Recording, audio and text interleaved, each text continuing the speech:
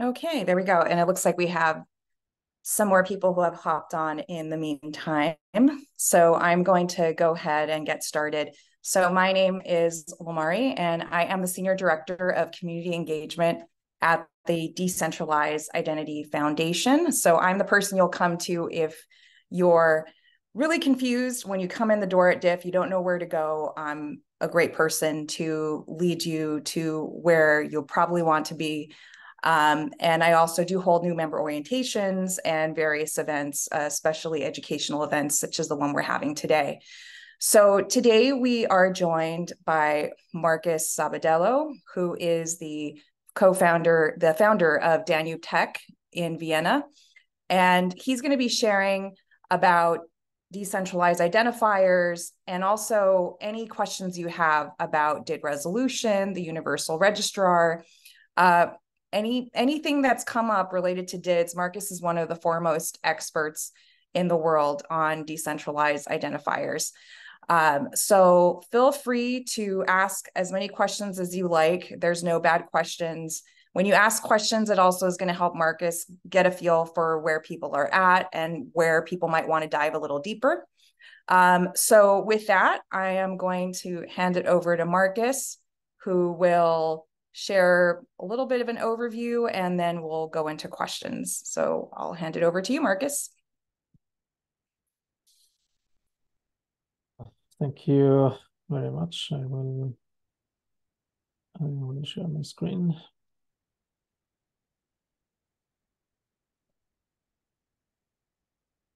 Okay, hope that's uh, hope that's working.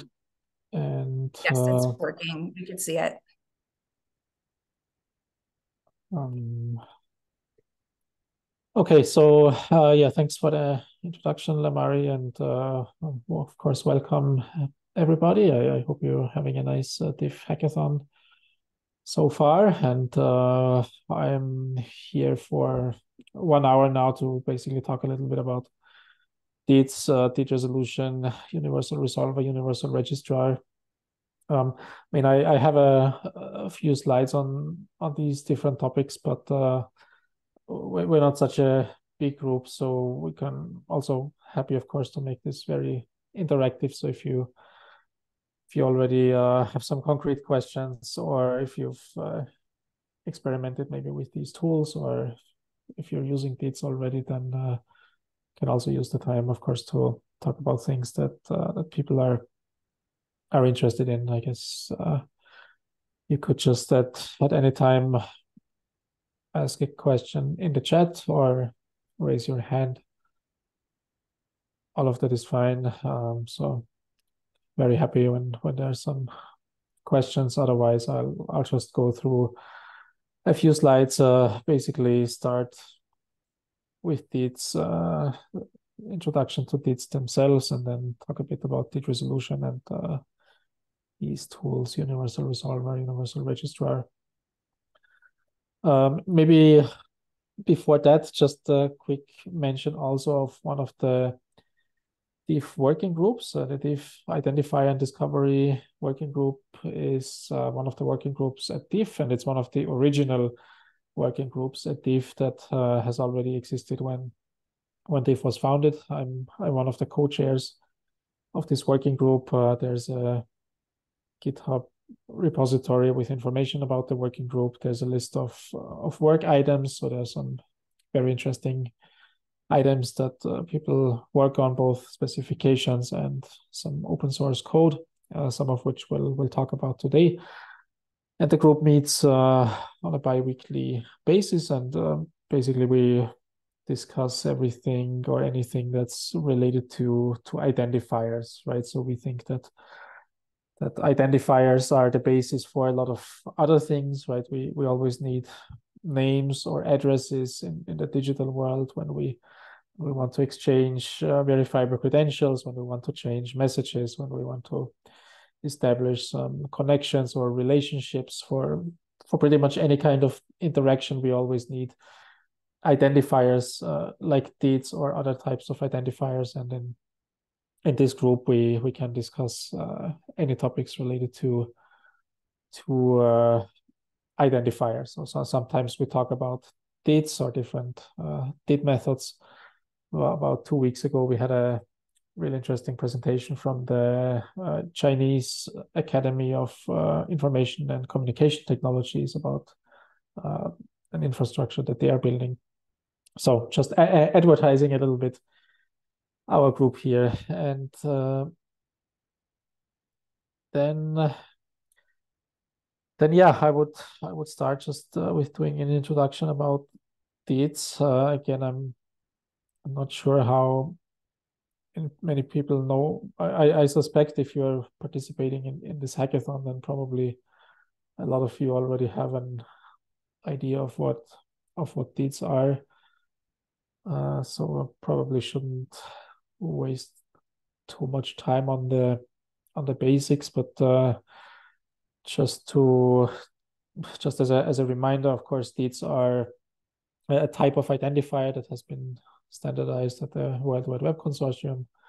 It's a type of URI uh, that starts with DID colon, and then there's something called the DID the DID method, right, which uh, which tells us how exactly a DID can be created and used and and resolved and and managed. So there's there's not really one way how DIDs work. There's not one uh, one single uh, client server protocol, for example, that uh, that's used for for working with DIDs right? It's it's not like DNS. Uh, it's not like DNS where you have one protocol basically and one global infrastructure for managing and identifier namespace.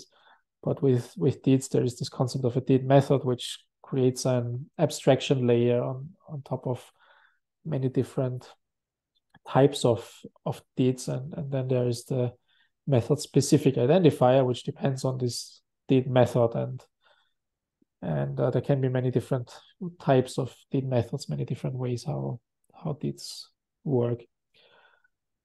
But uh, yeah, what's what's important, of course, is DIDs are meant to be decentralized, right? So not managed by a central authority, and uh, persistent, cryptographically verifiable, and resolvable identifiers. We'll, we'll talk about that a bit more. Of course, what it means to uh, for DIDs uh, for identifiers to be resolvable.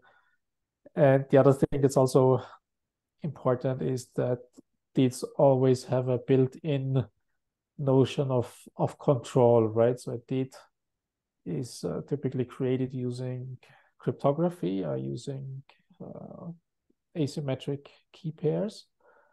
And uh, so somebody who creates the DIDs uh, typically has a private key which is then used for controlling the the DID. So that's that's built into the DID concept unlike uuids uh, for example right if you have uuids uh, uh, that's another type of identifier that's also decentralized but by by looking at a uuid there's no way to to, est- to establish who controls that identifier so yeah, maybe these are the most important things, right? That is DID methods, that these are resolvable and they are controlled by by someone using uh, using private keys. Uh, here's just, just some some examples of of DID methods. Probably a lot of these are, or some of these are probably familiar to you and you can see uh, sort of and, and there's a there's a registry document right and at the world wide web consortium at the DID working group where the the DID specification was was written there's also a list of known well-known uh, methods and I, I think it's almost 200 and and so this DID method again this tells us how exactly and, and where the DID is created and and managed and how it can be resolved and a lot of the DID methods use technologies like blockchains, right, or distributed ledgers. If you look at Date.INDY, which is based on the Hyperledger Indy uh, technology, EBSI is a European blockchain service infrastructure, so a, a European blockchain. Did Ether based on Ethereum, did BTCO based on Bitcoin, did Ion based on Bitcoin plus an extra second layer of uh, of storage.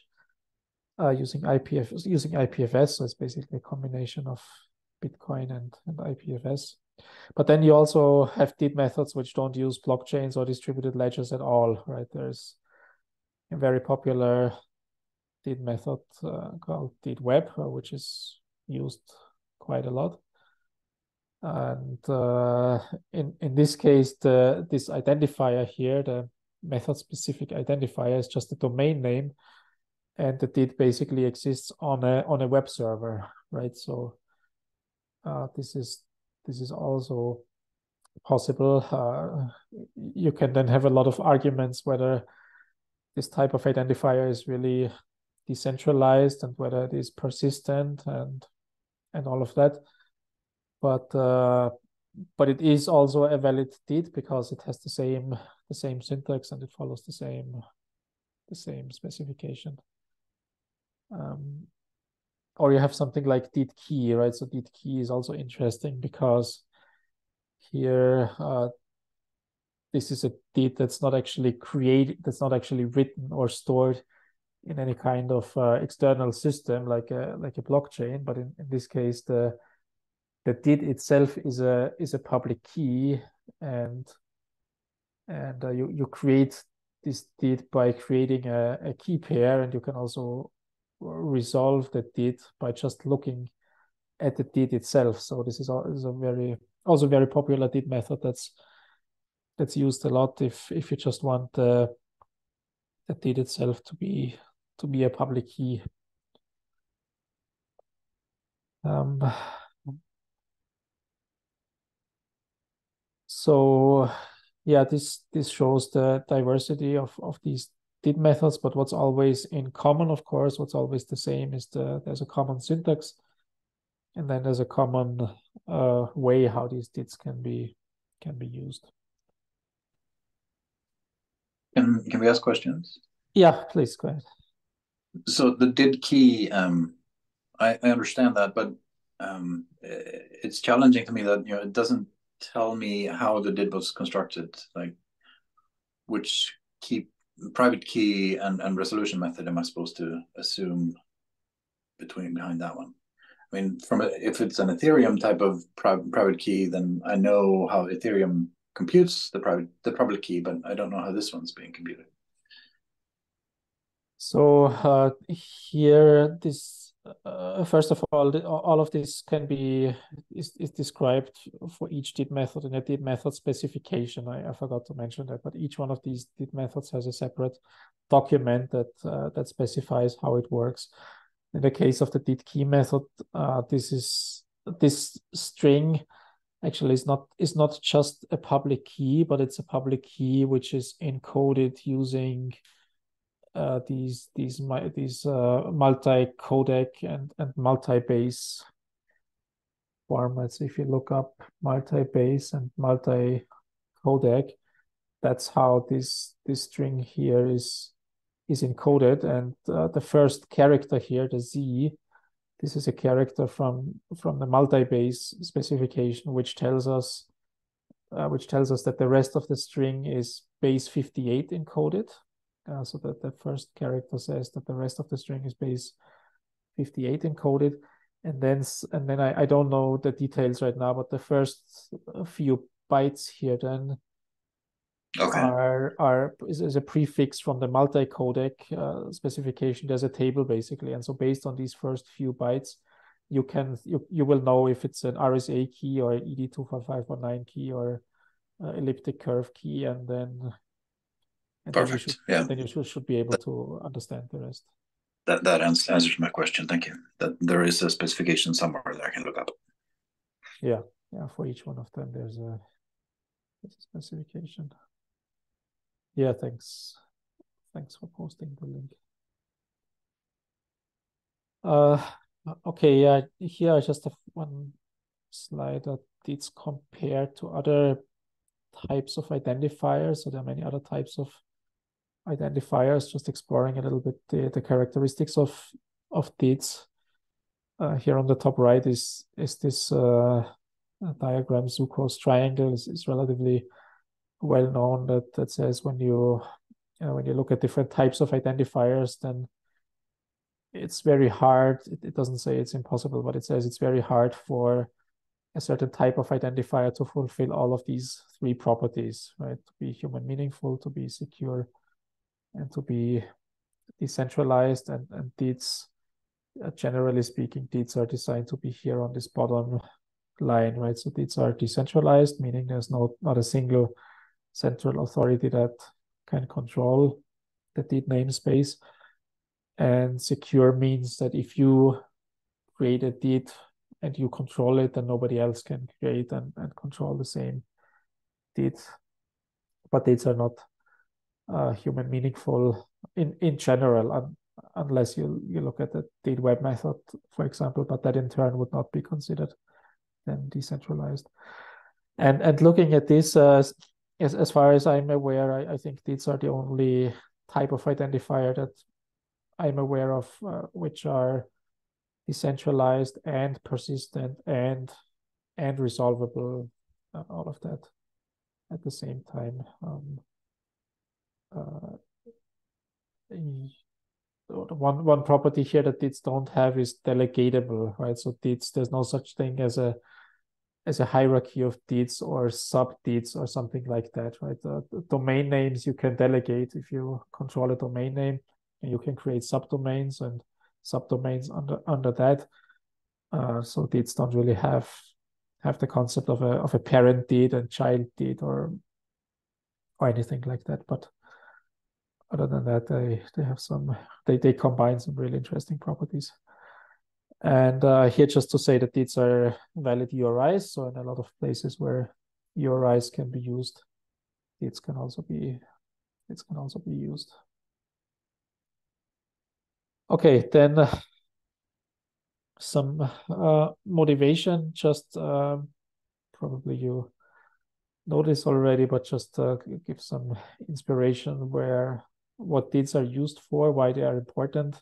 DID by DID by itself is is not very useful, right? Nobody so for for end users, nobody wakes up in the morning and says, "I want to create five five DIDs today," because I, I need a few DIDs, right? Uh, this is something that's very uh, low level and ha happens behind the scenes. But a lot of other technologies uh, can use DIDs and, and build on top of DIDs. Uh, for example, in a verifiable credential, uh, usually the a DID can be used to identify an issuer, like a university or a government that issues a verifiable credential. And uh, DIDs are also often used to identify uh, the subject of a credential. And then when you, when you use the verifiable credential, when you actually try to verify the proof on it, then you need the, the DID and you need to resolve the DID. I, I will talk about that a bit more. But this this basic idea that DIDs can be resolved and DIDs have a built-in mechanism of control is also useful just for authentication, uh, like an OpenID connect uh, type of flow. You can use a DID to prove control of the DID, right? So you could theoretically just uh, use a DID uh, also as a as a replacement for username and password. You can you can just log in to a website with a with a DID because you can prove that you control a certain DID using the the keys associated with it. Uh, um, assuming some protocol like OpenID Connect uh, that that works, that that would be uh, able to work with DIDs. And uh, yeah, thanks for the question. Just the, the third one here. So DIDs can also be used for discovery, right? If I give you my DID, then you can look up information about the DID including service endpoints. So you could look up a DIDComm service endpoint or endpoint of a decentralized web node, uh, which is a very interesting piece of technology, uh, or you can use a DID also for discovering an, an XMPP endpoint for, for sending chat messages or, or other protocols. The DID uh, core specification, what's the DID roadmap? So Yes, DID has DID uh, DID core, the DID standard has been published over a year ago, and there is now uh, an ongoing process in W3C in the World Wide Web Consortium to launch a new DID working group. Uh, so there's a process now to create a charter, uh, the, the rules, the, the scope of a new working group. And and that new working group uh, it's not yet so there's some discussion what what the new working group should do it it looks like or the most likely scenario will be that the new DID working group will will maintain and uh, fix some uh, some problems or some mistakes in the current DID specification. And in addition to that, uh, produce a new specification about DID resolution. Uh, that's actually my, my next slide anyway, so I'll switch just to that one. DID resolution is, is now what you actually do with a DID. Uh, so to look up uh, metadata about the subject that's identified by the DID. and uh, that's done in the form of of, a, of the so-called DID document, right? So DID document is a format that describes technical metadata about the subject, and the process of looking up the DID document, given the DID, that's called DID resolution. And DID resolution in the current W3C standard is only defined in an abstract way, uh, using an abstract interface, but there's not a lot of information in the current standard on how exactly DID resolution works and what kinds of uh, inputs and outputs and parameters exist exist in, in DID resolution. So there's a second there's a second specification. Uh, let me also put that here. There's a second specification about DID resolution which is uh, not a standard. That's a draft specification. But the idea is that a new DID working group at the World Wide Web Consortium will then standardize this uh, to basically add more details about uh, about resolving needs. How do you imagine did auth and web auth then will coexist? That's a, a really good question. So did auth this is is, is a high level umbrella umbrella term, right? So there's no such there's no such thing as a concrete DID auth protocol or DID auth specification that doesn't exist. There's a there's a paper from a few years ago that talks about the concept of DID auth and how it could potentially be implemented using what kind of what kind of protocol and uh, but DID auth is, is just a generic term, right? It, it's just the concept of using DIDs to to authenticate, and uh, that that can be done with with uh, OpenID, OpenID uh, Connect. There's also this this entire new stack of OpenID for for verifiable credentials. Uh, all of all of that work where where DIDs can also be used. And regarding regarding web authent i'm not an i'm not an expert on that i i know it has been discussed uh, a few times uh, my understanding is with with WebAuthn you you authenticate with a public key right so the public key sort of is your is your identifier um,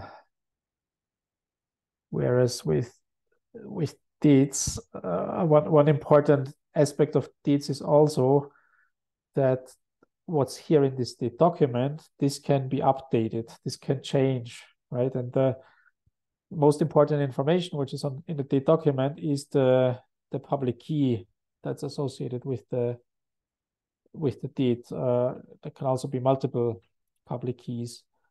Uh, so in, in this DID document, you have public keys and you have service endpoints.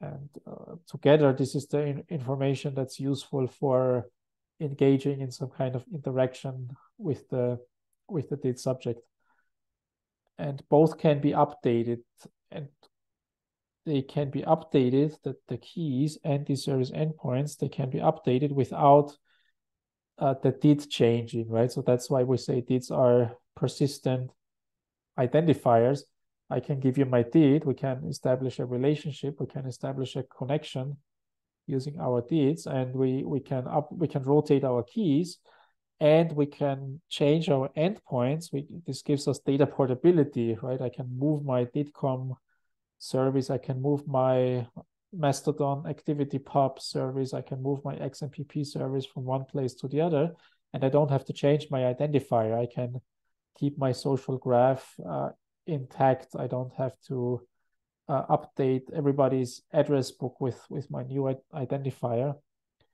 That that's one of the great value propositions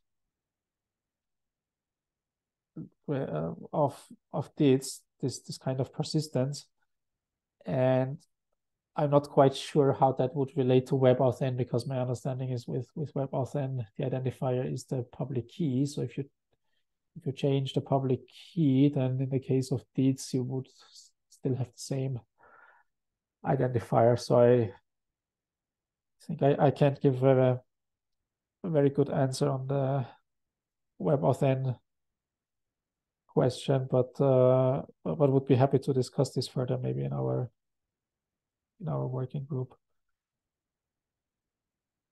How can I make sure my DID document has the has the correct syntax? Uh,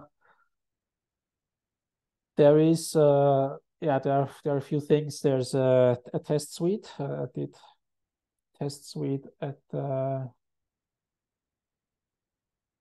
at the W3C working group. Uh, where basically implementations of, of DIDs and DID methods can submit their their DIDs and their DID documents and their test results, and then the test suite will will uh, check and, and evaluate the results and the, the DID document. And in addition to that, there's also a wonderful tool called DID Lint by uh, Christoph from OwnYourData. He's also very active in DIF and frequently participates in our working group. And this is a nice tool where you can paste, uh, put a DID document and it will it will validate it. It will check all the all the rules. So so for example, I could I could try to take the the DID document here from my slide and uh, put it well no let me let me not do that because i i think there's some mistakes. It would be uh, embarrassing maybe but in in general uh, you can use this tool for validating documents. I've heard that the EBSI DID format is based off the public key. That's true and if you rotate your public key does that mean you must change your it. Let me go back to the, yeah, so here's an example of an EBCDID DID from the, so EBSI is this European blockchain. Uh, let me also go back here to the to the list of of DID examples. So so the answer is is definitely no. If you if you rotate the, the public key with this DID method, then you don't have to change the DID. It, it is true that uh, for a lot of these DID methods, there's a pattern that that that this DID method specific identifier is somehow based on the public key. That's not a requirement for DID methods, right? It's up to every DID method independently to to define what the rest of the the DID means. It can be a public key or a hash of a public key or an address on a blockchain or anything like that. Uh, that's not that that's always different, but it is true that for many DID methods, uh, the string is is often based on public keys. Uh, I I think I think you're right, uh, Ian. That's that's the case for for EBSI. So this string at EBSI, the EBSI DID method has has undergone a few iterations or, already. So there have been different versions of that. I'm not sure if this one is still in line with the with the latest specifications. This this may be a bit outdated, but but it is based on a on a public key, and the same is also true, for example, here for DID Uh, in this case, this is also based on a public key. However, it is based uh, on the first public key, right? So the way how these DID methods work is that even though the DID is based on the initial public key, you can then uh, still rotate the keys, update the keys in the DID document, and the DID does does not change, right? So the DID will the DID itself is is persistent. Uh, it does not change if you change the the keys.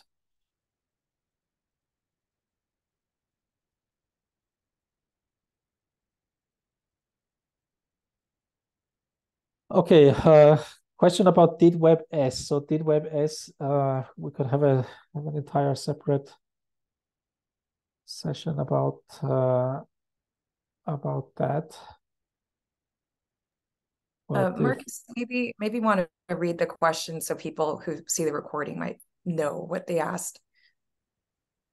Okay, I'm I'm sorry. I thought it might be visible on the recording. Uh, well, okay, so yeah. Yeah. So there's a there's a question about uh, did:webs. What's the difference between that and the regular did method? Um, so yeah, let's spend a, a minute on on that. Maybe if there's a if there's a question. did did:webs is a is a relatively recent proposal for uh, for a DID method. I, I have some slides here that were presented at the Internet Identity Workshop a few weeks ago. Uh, if you're familiar with the with the DID web method, the DID web method has been around for a few years, and uh, as I said, it's it's quite popular. Uh, it's it's really simple because in in this case, the the DID is resolved by basically downloading the DID document from a web server, right? So uh, we were just talking about DID resolution. DID resolution means obtaining the DID document for a given DID. And uh, this can sometimes be very complicated and it can sometimes involve uh, talking to a, a, blockchain and talking to IPFS and looking up all kinds of information to, to retrieve the DID document. But in the case of DID web, this is very simple, right? So if you have a did, deed like this, then the did document is just a file on a web server and you basically download that file and then you're done with the did resolution and, and you have this file. This is very popular because it's very simple. Everybody knows how to run a web server and how to publish files on a web server. However, this did method, did web, has also been criticized quite a lot because it, it, it doesn't have a lot of the properties that were intended for DIDs originally. And uh, maybe one of the most obvious problems with DID web is that uh, anyone could just change anyone who has access to the to the web server could just change the the DID document right uh, anyone who anyone who can attack the dns system anyone who can run a man in the middle attack on an on an http connection uh, anyone who can compromise the, the SSL certificate or anyone who is just an administrator on the web server can potentially manipulate and, and attack your, your DID document, right? And uh, this has been the subject of, of concern for some communities for a while. And so there have been uh, attempts to try to make the this web method more secure uh, while at the same time maintaining the, the convenience that comes with it. And so did:webs, uh, without going into all the details, but did:webs would look like this, and it works very much in the same way as did:web. So there's still a DID document on a web server that can just be downloaded. But in addition to that, there's a second file uh, which is based on KERI, uh, which is the, a key event receipt infrastructure. It's a it's a, a set of specifications and technologies for creating and managing uh, cryptographic keys in a in a very secure way. And there's an entire community around that, and also a lot of information about about KERI. But uh, so there's and I'm not an expert on that, and we don't have a, a time to really talk about that too much. But the essence of it is that by having both on a on a web server, the did document and this KERI file, uh, which which contains what's called a KERI event stream, that makes the did document verifiable, right? So this this contains uh, hashes and, and signatures and, and cryptographic information which secures the did document. So that means when you now download the did document and this other file, then you don't just blindly uh, trust what's in the did document because a number of attackers could have manipulated that. But in addition, uh, you can you have this end verifiability, right? So as a as a client that can look at both these files, can know that this is actually the correct did document for the DID that you're uh, that you're trying to to resolve. Um, is that is that sufficient as a as an answer uh, for now, or be happy to yeah answer more more questions or talk about this more in in uh, DIF discord or or slack also feel free to to email me uh, okay well, follow-up question. How can we ensure that the KERI file is not altered by a rogue party? Well you're right. Yeah of course. So if the if somebody could manipulate this the document file then of course they could also manipulate this KERI file. But there's one one more thing that makes this DidWebS method more secure, which is that the last part of the identifier here, the last part of the did, is what's called a KERI AID. And uh, here in this example, it's just one, two, three, four, five. But this is this is this is actually also cryptographic information that's part of the identifier. And this is linked to the information that's here in the in this KERI file. So so what's here in this KERI file can be traced back always to this AID, to this string that's part of the identifier itself.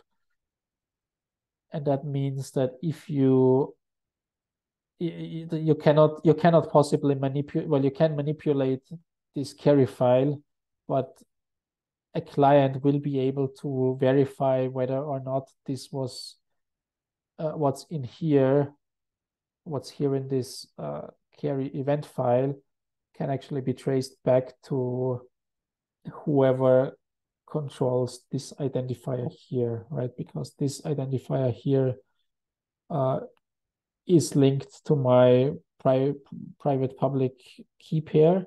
And so is this file here, right? So if you, yeah, so you say, if we trust the URI, then we can cryptographically trust the, the KERI file. That's a, that's a good way of putting it, right? This, this here is, this here is a is a hash also it's a it's a cryptographic hash it's not it's not quite just a hash of a public key but it's a hash of of of the information that you need to then verify this KERI file. And so with the with the identifier itself, you can verify the contents of this KERI file, and with the contents of this file, you can verify the did document. And that's how this is uh, the result of the did resolution process. In this case, is end verifiable uh, uh, using the information from the did itself, and, and that's how this is different from just did web, but it's also designed to be just as convenient as did web because you just have to download files. You don't have to run uh, blockchain nodes or anything like that. But uh, yeah, happy to talk about this more. Okay, yeah, we're only uh, 15 or 20 minutes left, I think. I uh, wanted to talk about these tools, of course, also a little bit. So we talked about DIDs and DID resolution. Uh, there, there are two open source projects at DIF. Uh, they are both work items of the Identify and Discovery Working Group. One is called the Universal Resolver, and the other one is called the Universal Registrar. And uh, the the idea is basically to to provide a, a tool uh, that can be used for easily working with DIDs on, on one hand for resolving DIDs, but also for creating and updating and deactivating DIDs. Uh, Markus, can we get a copy of your Web3, uh, WebS uh, slide deck? Yeah, I will also share the the link here. I hope it's publicly readable. If if if not, then then please uh, send another message here in the the chat. Right. So these two these two tools, Universal Resolver, Universal Registrar, uh, open source projects at DIF, they basically expose the uh, the standard DID operation functions for resolving DIDs, that's universal resolver, but also for creating DIDs and updating DIDs. Uh, we talked about that, and also deactivating DIDs. We haven't talked about that yet, but DIDs can also be deactivated. And and uh, as we as we've discussed, the way how DIDs work underneath is is very different depending on the DID method, right? So it's not it's not like DNS where you have to implement just one protocol and then you can resolve all the domain names in the world. No, for for DIDs you basically have to implement each DID method uh, separately if you want to support multiple uh, DID methods. And uh, Universal Resolver is basically an attempt uh, to support uh, as many DID methods as as possible. Let me take take a look. So here you can you can try it out. Uh, this is at this address. This is an instance of the Universal Resolver hosted by DIF, but it's uh, an open source project, right? So you can host it yourself. Uh, the, the idea is not that the whole world should use this address here and in, in fact it's uh, it's definitely not a, a, production service right? There's a there's a warning sign here in the corner. This is intended for uh, experimentation or for some tests. But if you if you're building an actual production uh, system then you should uh, you should consider self-hosting this project. Or there are also some there are also some alternative services and alternative resolvers right? So i also don't want to don't want to give the impression that this is the only way how DIDs can be resolved. Uh, no, no, there are definitely other other open source projects and uh, libraries and SDKs and, and so on that can be used for, for resolving DIDs. But here, this one is an open source uh, community project by DIF uh, that supports a lot of different DID methods. So I can basically try this out, uh, for example, with a EBSI DID and I resolve this and then the, the result is here is here that the document uh, with uh, public key. In this case, there are, there are no service endpoints here. And uh, this works this this works the same way for other types of of DIDs as well, right? So if I try did indy or did cheqd or did ion, then uh,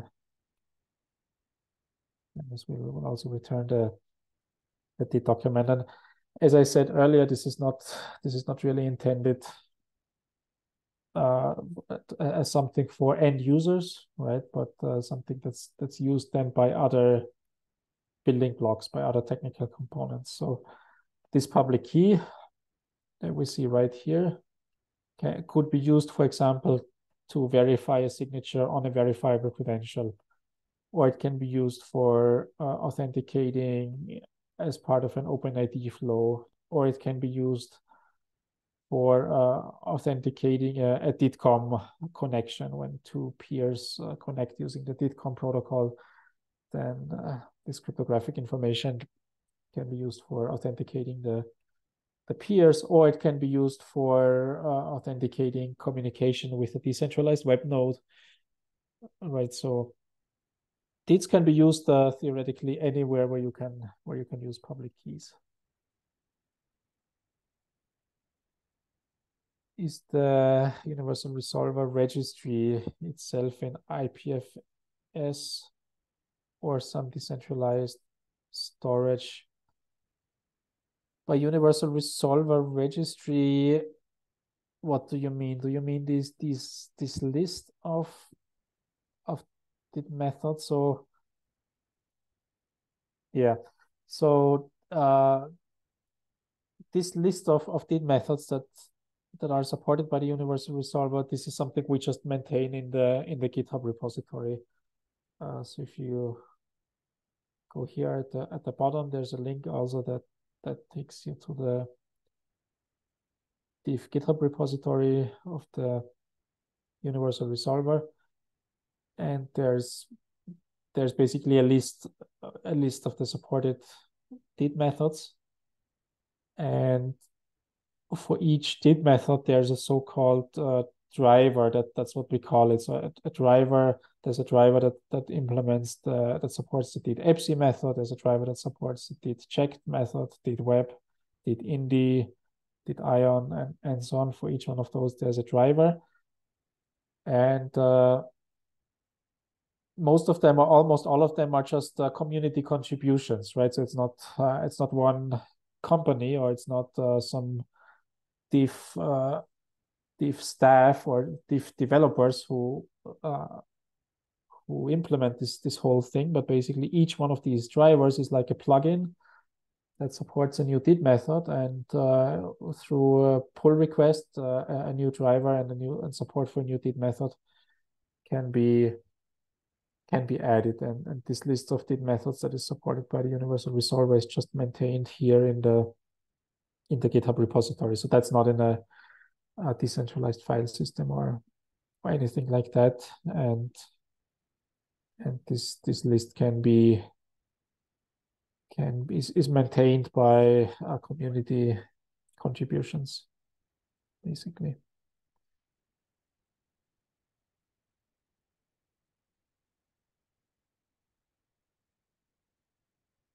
Okay, uh,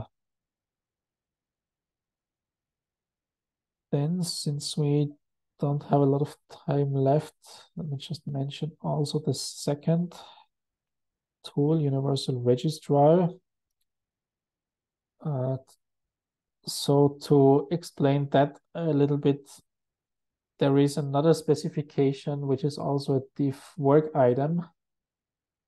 I will also put that into the chat called uh, did registration, so that's a separate spec. And uh, this specification tries to define an abstraction layer and, and interfaces not just not for resolving DIDs, but also for creating and updating and deactivating DIDs. Uh, so it, uh, looking here at the at the slide, it defines these three operations, if you want to create a new did, if you want to update a did, and if you want to deactivate a did, defines these uh, abstract functions with certain inputs and certain outputs. And the and the universal registrar is again an open source project at DIF, uh, which implements this for several several different did methods. And uh, if if you think about this, this is this is not so not so straightforward to do because did methods work in in very different ways, as as we've said. Uh, in the case of did web, uh, for did web, for example, if you want to create a did, you have to upload a file to a web server. For uh, did EBSI, if you want to create a did, you have to write a transaction to a blockchain. Uh, same for did indy or for did cheqd, you have to write transactions to distributed ledgers, but using all kinds of different technologies. Uh, for creating a did key, uh, you just need to create a, a key pair basically and do nothing else, and so on. So these create update and deactivate operations, it's quite a bit more complex to, to build an abstraction layer that works across different DID methods. But nevertheless, this, uh, this specification tries to do that. So it, it, it defines an interaction between a client and the regis registrar component, and which then abstracts away all the details again of, of all the different DID methods and, and provides a universal API, universal interface for for uh, creating and updating and deactivating DIDs. Uh, this is this is what it what it looks like. So again, this is an uh, here a DIF DIF open source project and instance that people can use. Uh, I, I have to say it's not as advanced or as mature maybe as the universal resolver, this universal registrar is a bit more experimental. Uh, but but it mo it mostly works, I, I, would say. So it, it can be used for creating did ion, did key, did web, did sov, did cheqd, and so on. And and all of these did methods are supported using a a generic interface which is defined here in this did registration specification. Um, just a few minutes left. I, I think are there are there any questions or otherwise I would talk about uh, just this a bit more.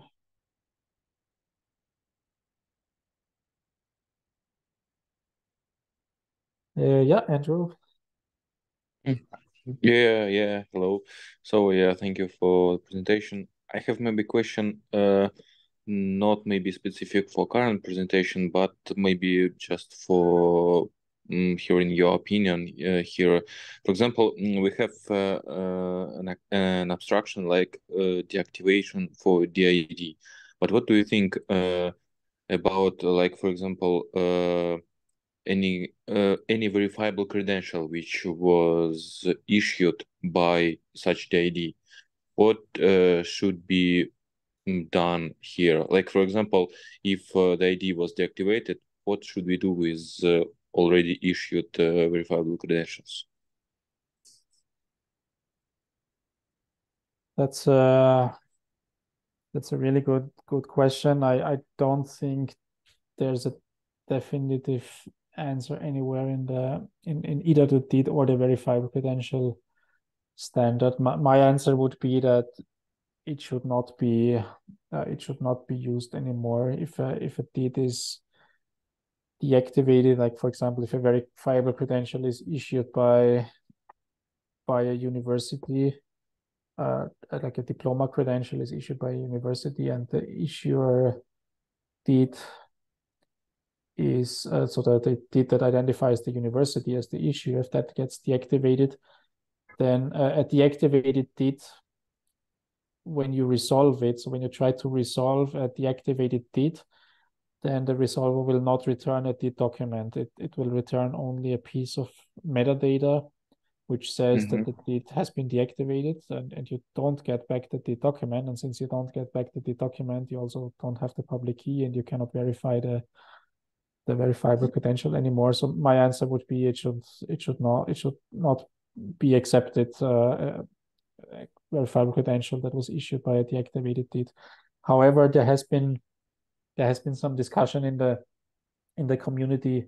Oh, and and by the way, for some DID methods, uh, after a DID is deactivated, it's it's also then technically uh, Im impossible to to retrieve the the DID document, right? So in some cases, when you deactivate a DID, then the DID document is actually deleted, and and you can never get it back. That's a bit DID method specific where there are differences between the DID methods.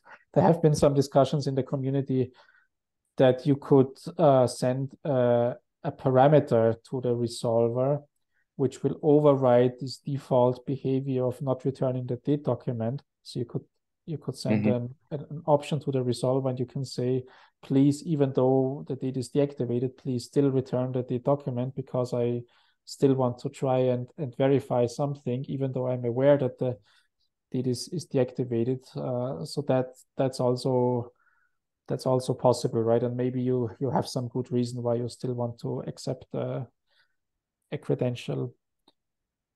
Mhm. But, uh, but but my answer would be that the, that the default behavior is for deactivated DID to not not return the DID document and and that it should not be Mm. used. Yeah.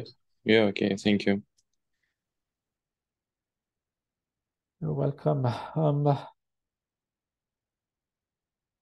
very good question, uh, Ian. Which DID methods have the highest adoption uh, and usage? So, of course, uh, DID methods have different advantages and disadvantages, right? We, we said that DID web method, for example, is very easy to use, but it has some security disadvantages. Maybe uh, if you look at DID methods based on Bitcoin, then maybe they are very secure, but uh, they cost a lot of uh, Bitcoin cryptocurrency, right?